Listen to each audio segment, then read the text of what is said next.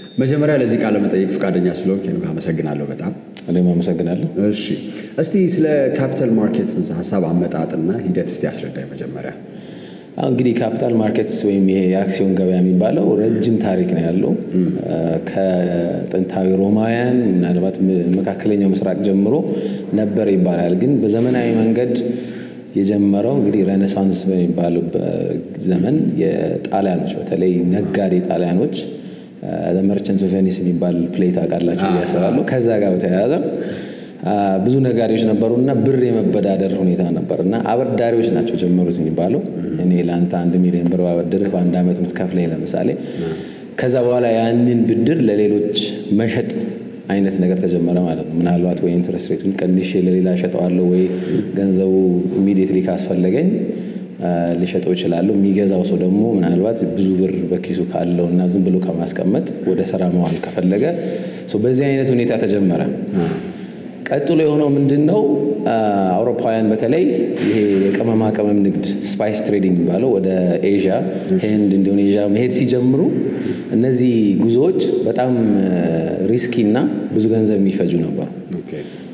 አንድ ሰው ሙሉ ሀብቱን አንድ መርከብ ላይ ቢያደርግ በጣም risk ነበሩ። ምክንያቱም የንግድ risk አለ፣ መንገድ ላይ ሽፍታዎች አሉ፣ መርከቡ ይጠለፋል፣ እንዲህ አይነት ነገሮች አሉ። ስለዚህ ምን ማድረግ ጀመሩ? በሄዱ ቁጥር ከብዙ ሰዎች ገንዘብ እየሰበሰቡ እንደ share ማለት ነው መሻሻጥ ጀመሩ። አንድ ሰው ብዙ ብር ካለው ለብዙ መርከቦች ይበትንና risk ኡን ያከፋፍለዋል ማለት ነው። እንደዚህ ያደርገው መነገድ ጀመረ። አሁን በዚህ ሰዓት ምንድነው የሚደረገው? መርከብ በሄደ ቁጥር ነበረ እንደዚህ share እየገቡ risk ኣቸውን እየተከፋፈሉ የሚሄዱት።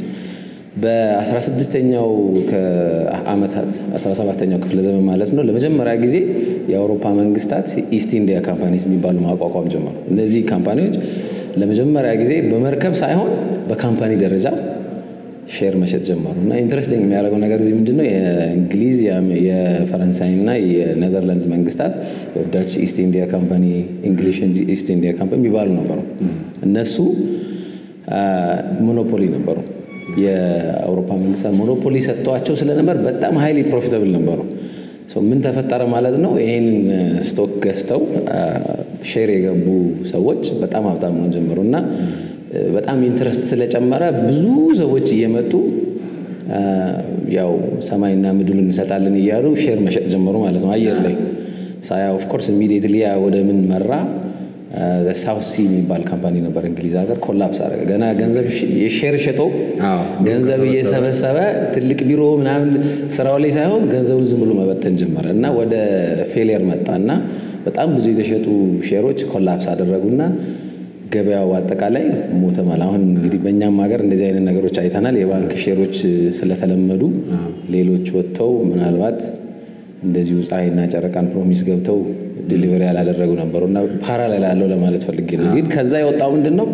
መንግስታት መጀመሪያ በተለይ የእንግሊዝ መንግስት ከለከለ፣ private sector issue እንዳያደርግ ከለከለ ማለት ነው እና እስከ 18 ምናምን ዓመተ ምህረት ድረስ 1825 ምናምን አካባቢ ድረስ የእንግሊዝ መንግስት በእንግሊዝ ንጉስ በኩል ተደርጎ ካልሆነ በስተቀር issue እንዳይደረግ። የግል ዘርፉ ምንም አይነት አክሲዮን እንዳያወጣ። ምንድነው አሁን እዚህ ላይ missing የነበረው ነገር? መንግስት regulate አያደርግም ነበር እና የመጀመሪያው እንግዲህ አሁን ወደ modern ዘመናዊ የምንላቸው stock market ኦች ስንገባ በተለይ ደግሞ የ New York Stock Exchange እስካሁን ድረስ በጣም ትልቁ የዓለምን dominate የሚያደርገው በ1770 ምናምን አካባቢ ሲቋቋም ምንድን ነው ያደረጉት? እነሱ by አሁን ደላላዎች እና broker ኦች ናቸው stock market ኡን ያቋቋሙት። አዲስ stock ወይም አዲስ company share ለመሸጥ ስትመጣ list ማድረጊያ requirement ኦች አመጡ። ይሄ እንግዲህ የ regulation ኡ መጀመሪያ ነው ማለት ነው። መንግስትና ሶስተኛ አካል በ stock ወይንም አክሲዮን ሻጭና ገዢ መካከል እምነት ለመፍጠር trust ለመፍጠር share የሚገዛው እንዳይጭበረበር ለማድረግ ምን አደረጉ ማለት ነው? trust ፈጠሩ ማለት ነው። እንግዲህ የ stock market ወይም የገበያ ዋናው ዓላማ ይሄ ነው። መተማመንን በመፍጠር ገበያው scope ኡ እንዲጨምር ማለት ነው። okay። እስቲ አሁን ወደ እኛ ሀገር ደግሞ አሁን capital market ወይም የአክሲዮን ገበያው ሊጀመር ነው እየተባለ ነው። ይሄን ነገር ስታስብ ኢትዮጵያ ውስጥ በአጭር ጊዜ የሚሆን በረጅም ጊዜ ኢኮኖሚው ላይ የሚያሳድረው ተጽዕኖ፣ የንግድ ዘርፉ ላይስ የሚያመጣው አንድምታ ምን አይነት ነው የሚሆነው?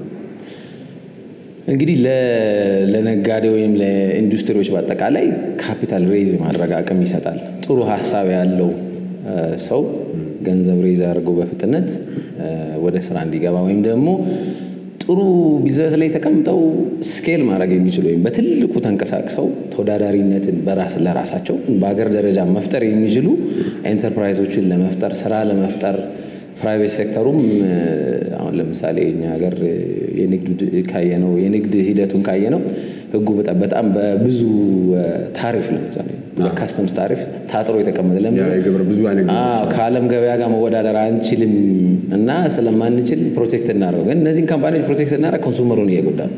እየተወደደ ነው ማለት ነው እና እንደዚህ አይነት በሀገር ውስጥም ብቻ ሳይሆን በውጭ መወዳደር የሚችሉ scale ያላቸው አቅም ያላቸው company ዎችን ለመፍጠር ግዴታ ነው እንደዚህ አይነት mechanism። በኢኮኖሚ ደረጃ ካየነው ግን ዞሮ ዞሮ ምንድን ነው financial intermediation የምንለው ነገር አለ። ምንድን ነው በአገር ደረጃ የሁላችን ገንዘብ ተሰብስቦ invest ይደረጋል። አሁን ይሄ የሚደረገው በባንኮች አማካኝነት ነው። ሁላችን ባንክ ውስጥ ብር እናስቀምጥና ያ እንግዲህ ሰባት percent ነው interest የሚሰጠን። እንደምታውቀው የዋጋ ግሽበት inflation አስር percent ነው። ሰው ሁላችንም አሁን ባለበት ሰዓት ሶስት percent እየተመታን ነው ባንክ ውስጥ ያስቀምጥነው ብር ብዙ አያስኬድም። እና ምንድነው intermediation ኡ የተሻለ እንዲሆን የሚያደርግበት አካሄድ አለ። stock market አንተ ባንክ ውስጥ አስቀምጠኸው ምናልባት ብዙ የማታገኝበትን ገንዘብ stock ውስጥ ብታስገባው የተሻለ return ልታገኝ የምትችልበት አጋጣሚ ይፈጠራል። ስለዚህ efficiency ይፈጠራል ማለት ነው። higher return ሰባት percent ማግኘት የምትችለው ነገር ቢ 15፣ 20፣ 30 percent የምታገኝበትን እድል ሊፈጥር ይችላል። በባንኮች በኩል ደግሞ ከሄድክ የበለጠ even important ነገሮች አሉ። ባንኮች አሁን የሚንቀሳቀሱት በኢትዮጵያ ደረጃ እንግዲህ ባንክ ከኛ ተበድሮ ለ entrepreneur ኦች ወይም ለ company ዎች የሚያበድሩ ያ short term debt ይባላል። ምንድነው? እኔ anytime ተነስቼ ሄጄ ከባንክ አምጣ ብሬን ማለት እችላለሁ። ባንኩ ግን በሀገር ደረጃ ለምሳሌ industrialize ማድረግ እንፈልጋለን እያለ ነው። ከባድ ትልልቅ business ኦችን build ለማድረግ በስድስት ወርና በአንድ ዓመት አይሆንም። አምስት ዓመት፣ አስር ዓመት፣ ሀያ ዓመት፣ ሰላሳ ዓመት ይፈጃል። የረጅም ጊዜ ብድሮች ነው የሚሆኑ። እንደዚህ አይነት ብድሮች ጋር ለመግባት ባንኩ ይከብደዋል። ለምን በአጭር ጊዜ አምጣ ሊባል ይችላል። እና ይሄንን mismatch ይባላል long term እና short term loan። ይሄንን mismatch ኡን ለማጥበብ ወይም እያተሻሻለ ለመሄድ በጣም ያስፈልጋቸዋል። እስቲ ወደ እኛ ሀገር ደግሞ ስንመጣ የየትኞቹ የንግድ ዘርፎች ቀድመው እዚህ የአክሲዮን ሽያጭ ላይ አሁን ባንኮች ላይ ይታያል፣ ግን ያው stock market ባንለውም capital market ባንለውም የትኞቹ ዘርፎች ናቸው የንግድ ዘርፎች ቀድመው ሊገቡ ይችላሉ ተብሎ የሚገመተው እዚህ ላይ? አይ ቀላሉ ባንኮች ነው እንዳልከው ምክንያቱም በሀገራችን ደረጃ ምናልባት stock market ኖሮ ቅድም ያልኩት regulation ባይኖርም በመንግስት በኩል ያ ስራ ባይሰራ ማለት አሁን የ Securities and Exchange Commission የሚባለው በአሜሪካ አይነት ባይኖርም እና ከባንኮች ውጭ ያሉ share company ዎች አደጋ ላይ ቢሆኑም ማለት ነው። ባንኮች ግን ደህና ደረጃ ነው ያሉት። ይሄ ምክንያቱ ምንድነው? National Bank regulate ያደርጋል እና ጥሩ information ም ስላለ profitable ም ናቸው። በተወሰነ መልኩ ገበያውም እንደሚጠበቀው competitive ስላልሆነ እንትን ናቸው፣ አትራፊ ናቸው ባንኮች የመጀመሪያ በሌላ በኩል ግን የሚታይ ምንድን ነው የመንግስት የልማት ድርጅቶች state owned enterprises የምንላቸው ለእነሱ ለምሳሌ አይነተኛ የ privatization መንገድ ይሆናል ብዬ አስባለሁ። ለእነ Ethiopian Airlines ምናልባት ready ላንሆን እንችላለን። ትንሽ ቆንጠር አድርጎ አንድ አስር percent የ Ethiopian Airlines ሁሉም float መደረግ አያስፈልገውም stock market ላይ የሆነ ያህል percent በቃ መንግስት ዘጠና percent ኡን ይዞ ለምሳሌ አስሯን እንዲያ አውጥቶ የኢትዮጵያ ሕዝብ የ Ethiopian Airlines ባለቤት ሊሆን እንፈልጋለሁ ቢል ማድረግ ይችላል። እስቲ ይህንን ነገር ለማድረግ ምን ምን ያስፈልጋል ብለን ታስባለህ? ለምሳሌ የተማረ ሰው ኃይል ሊሆን ይችላል፣ መሰረተ ልማቶች ሊሆኑ ይችላሉ። ምን ምን ይህንን ነገር እውን ለማድረግ by the way ትልቁ የሚቀረው ነገር በመንግስት በኩል መደረግ ያለበት ነገር ነው እንጂ ህግና ደንብ ትክክለኛ የሆነ ህግና ደንብ ገዢና ሻጭን የሚያስማማ transparency የሚፈጥር እምነት ወይም ደግሞ trust የሚፈጥር ህግ ያስፈልጋል። አሁን የሌለው እሱ እንጂ technically stock market ኢትዮጵያ ውስጥ አለ ብለን ማውራት እንችላለን። ለምን share ይሸጣል፣ share ይገዛል። በአሁኑ ሰዓት የባንክ share ብቻም ሳይሆን እኔ ተነስቼ አሁን ለምሳሌ የጀበና ማምረቻ ፋብሪካ ባቋቁም እና የዞርኩ ወጥቼ business plan አሳይቼ ግዙኝ share ብል የሚገዛኝ ሰው አገኛለሁ። that's stock market essentially። ስለዚህ ደላሎቹ broker ኦቹ የሉም እንጂ ያና regulation ደላሎቹም አሉ። actually ምንድነው formalized አይደለም፣ አንድ አድራሻ የለውም። ለምሳሌ መካከለኛው ዘመን አውሮፓ ላይ የተጀመረው believe it or not coffee shop ኦች ውስጥ ነበር የሚሸጠው። coffee shop ኦች ውስጥ ደላላዎቹ ይቀመጡና እኔ አሁን የ Dutch East India Company ይሄን ያህል share አለኝ መሸጥ እፈልጋለሁ ብዬ ምናልባት ግድግዳው ላይ ይለጠፋል። እንደዚህ አሁን እነዚህ coffee shop ኦች ናቸው። in fact bourse የሚባል ቃል አለ። stock market ኦቹ ሌላ የሚገልጽበት ቃል bourse ነው። bourse ማለት inn ነው። ኔዘርላንድ ውስጥ የነበረ ፔንሲዮን ነገር ማለት ይችላል። የሚሰበሰቡበት አሁን corrupted ሆኖ bourse የሚለው ቦርሳ bourse ምናምን የተባለ መጥቷል በአውሮፓ ውስጥ ግን የሚገናኙበት ቦታ ነው። አሁን ኢትዮጵያ ውስጥ እሱ ነው እንጂ የሌለው እና ይሄን ደግሞ ምንድን ነው process ኡን ታማኒነት እንዲኖረው ማድረግ የመንግስት ሕግና ደንቦች አለመኖራቸው ትልቁ ነገር ነው። ሁለተኛው አንተም ትንሽ mention እንዳደረከው የ human resource ጉዳይ ነው። እውነት ለመናገር ምንም ነገር የለም፣ የተሰራበት ነገር የለም።